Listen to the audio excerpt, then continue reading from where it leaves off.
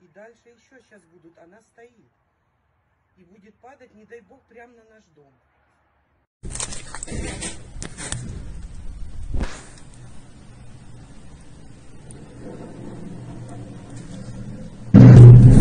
Ебать, его в рот, нахуй, блядь.